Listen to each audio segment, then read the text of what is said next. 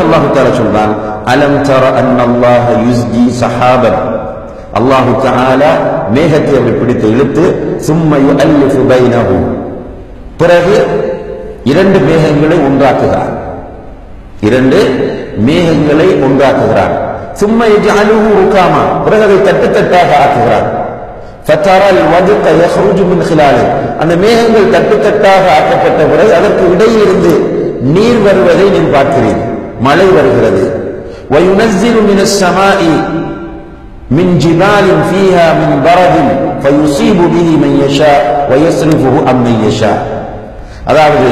வானத்திலிருந்து மலை மலைக்கு மேலிருந்து ஆலம் கட்டிகள் சொல்லக்கூடிய அந்த பனிக்கட்டிகளையும் அல்லாஹு தாலா இறக்குகிறான் நாடியவர்களுக்கு அது கிடைக்கிறது நாடியவர்களை விட்டு அதை திருப்புகிறான் யகாது சனா பர்ஹிஹி எத்ஹபு பில் அப்சார் அவனுடைய அந்த